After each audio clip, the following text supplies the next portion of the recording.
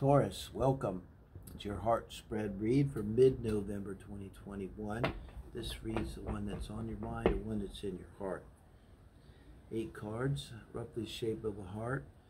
Think Sun, Moon, Rising, and Venus, and I'm astrologer too, so I will uh, sometimes throw out uh, signs uh, if I see it in the zodiac. Particularly, mostly I do that in the singles read, though. Uh, this reads who's on your mind. That one's when you're completely single. Uh, maybe you have a friend who's single, hit them up, let them know about the Meet the Soulmate read. Um, also, check out, if you would, the Soul Family Daily Collective read for whoever resonates. Think Terence McKenna, find the others, uh, and see if that uh, it, you might resonate with that. It's a little more personal read about, uh, you know, uh, spirituality, less about relationships. And right now, we're just picking up on the one that's in your heart, Lover's card. So um, this reads where you're at in and around relationships, where your mind is at, where your heart is at. And uh, Taurus, you maybe I don't think you have to put Gemini into the equation with the lovers.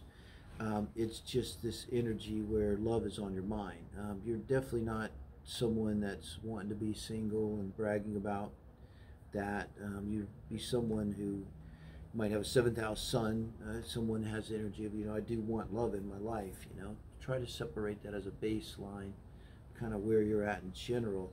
But fantastic energy for this read because to me, that this is where you're at, that's a great place to be in in terms of love and relationship.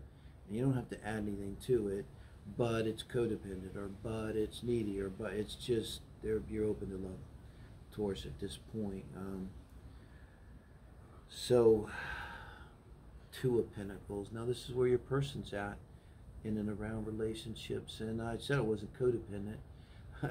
so this person could be an earth person, you know, Taurus, uh, another Taurus, uh, Virgo, uh, Capricorn person, or Sun, Moon, Rising, and Venus think prominent. Somehow I think they would mix well with you. Um, now I said this. Now this Two of Pentacles. Someone's busy living their own life, doing their own thing. I don't really see this so much as uh, being about choices, other than a lot of times when you're in this energy, um, it can be uh, hard to do something, uh, bring a relationship into your life because you now you've got your life balanced, and maybe it's, it's not so easy to do. You know, you have to really focus. It's really doing it. Um, and then so now you throw in a, a curveball here, especially to an earth sign. Fixed earth doesn't really like change. Could be a little bit of that uh, energy here. Uh, we'll see how they receive you. This next card, now I read, how are you reacting to them? The chariot card. So the lovers and then the chariot, and this is how you're feeling about them. Um, you're very fired up about them. I think what I just said, I'm trying to describe this energy of them. They, you are kind of in this energy of I want love. That's cool. They're really not. They're kind of just not even really thinking about love or anything. They're just doing their thing, living their life. And you're really attracted to them like they're the one this is my soulmate because this lovers too can come with all the soulmate stuff too. Now add chariot to it well and that's definitely how you feel. And you know um, that could be a feeling like this love is in alignment with my core values and that they could be the one you know? Uh, when when you have that feeling like you don't have any conflict there's no red flags and you're just kind of all go and it's to me, it always comes with this energy of an inner spiritual feeling that of being in going in the right direction. And this is towards your person, so very positive uh, for you. And the Six of Wands. Wow. It's very interesting. I'm going to clarify this.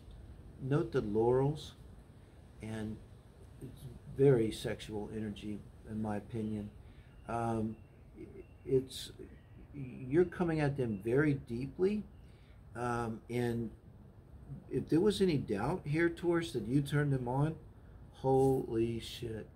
I mean, to go from the Two of Pentacles to the Six of uh, uh, Wands. Um, the only thing that concerns me a little bit with it, it's kind of small energy. I often compare the Six of Wands to the Chariot so the Six of Wands, you're getting accolades from the people or you won something, won the war. So here, it's like we're getting accolades and we're having a parade, but this is like our higher self and our spirit guides and angels. They're the ones applauding us as we go by in review on our chariot here. Um, I gotta say, uh, if you believe in twin flames, I'm kind of on the edge of myself about that. If it exists at all, it's extraordinarily uh, rare.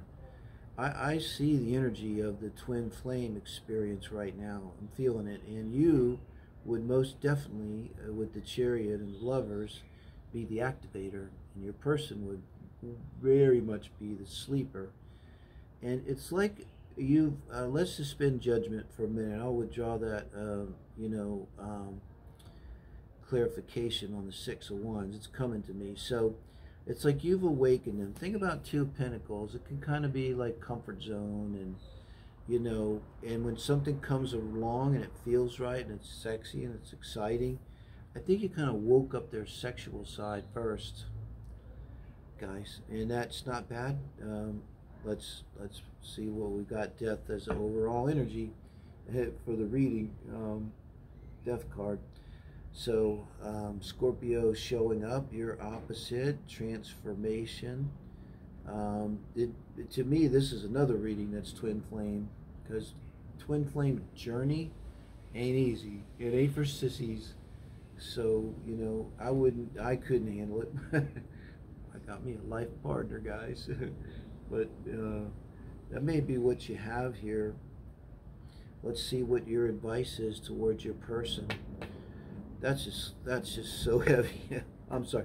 You've got three major arcana representing you. Now this is how you're acting towards them, and this is your advice from spirit here, judgment, um, and trying to give you advice, your own angels and guides about this person in terms of this relationship. And I gotta tell you, I think it's like this where free will comes in. It's like, excuse me, it's like, um, it's kind of like asking you, is this really enough? Is this really the one?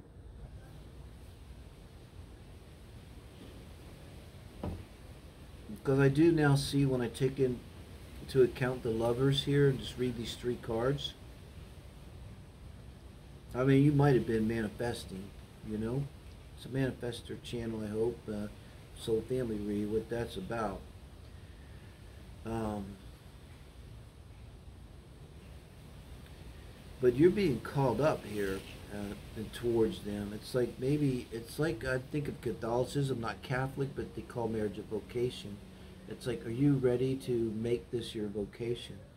There's an element here too, like that your path maybe you've got a north node in the seventh house and literally your soul's path and maybe other things. And it is a balanced uh, harmonious uh, relationship um, with a lover you know?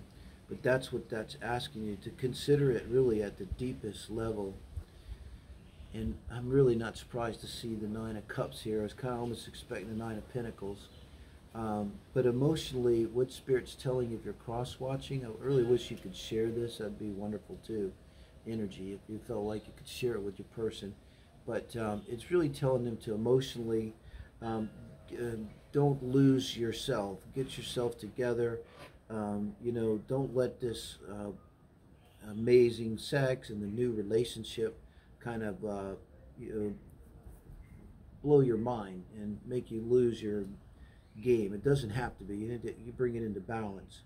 But you're going to bring it into balance, this person, your other person here, um, again, who might be another earth sign, um, by emotionally being fulfilled, self-fulfilled, you know, focusing on that. And it leaves a question for me. Let's see what the advice is for, for spirit for relationship as a whole. Geez, I kind of tell you there's a choice to make here. Jupiter's involved. Um, lost track of her a minute. He's uh, he's at about 23. Um, Aquarius now, but getting up direct. Um, with the Wheel of Fortune, it's um, something's going to come in that's going to uh, inspire both of you somehow. Like it's like if, if, if you were in a position of sort of like uh, in locked in sort of a strange emotional combat where you sort of were feeling each other out and not really being able to fully bond. Um, I think that's what's going on here. It's like something's going to happen. This usually goes in your favor, so that's going to benefit the relationship. Um, that might serve to bring you together. This is a crazy analogy, but it's it's like the energy of accidentally getting locked together in an elevator for 24 hours, or or um, you know comes to mind um, the exercise of simply just sitting and looking at each other's eyes and don't don't blink, just look in each other's eyes. Give it two minutes. Two minutes. And um, that kind of energy. Something's going to come along that's going to kind of throw you guys together here. But your person just needs to be emotionally stable. Seems to be a lot of focus on that um, in order for this to work in the favor of the relationship. And um, you literally have to make this decision, this judgment. It's like, okay, it's literally a judgment. Um, is this enough? And this may be like, read this too, could be a sign from the universe come, something very obvious. Like you were literally going, I really don't know um, what what I think about it, and boom, it comes to you in the page of pentacles as the outcome. Wow. So you end up out of this uh, with an outcome, the page of pentacles, and I don't mind it. Um, I feel like there's a that's very sincere. It's a, definitely a new beginning. Uh, it's someone that really values what they have. And you know the page is sort of facing you, Taurus, and I feel like this is maybe part of uh, what needs to happen with your person. Is they they really don't quite understand what they have. And I'm not just saying this because it's your reading will blow smoke up your ass. They really don't have the chops, spiritual chops, appreciate kind of what's happening here, what you have. I mean, but if you look at this as you're the activator, then um, you could say it's your job now um, to help them to understand, you know, this. And that's why I say with, you know, twin flame relationships are, I don't know, I don't think they're supposed to be easy or necessarily fun. You could say if it exists, it's a fast track to spiritual growth because you're going to get there. But what this implies to me is that you guys make a sincere and solid start, like from a blank page, a new start.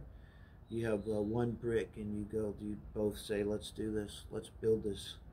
And um, it's, it's this Jupiter and wheel of the fortune here. Um, maybe it's also something that takes away. Jupiter sometimes will clear the plate, and before you, you know, anything good can come, which is usually in terms of an opportunity. But here it may be something that brings you together by having something taken away, just to let you know. But you're going to end up in a great place from it with this uh, Page of Pentacles, guys.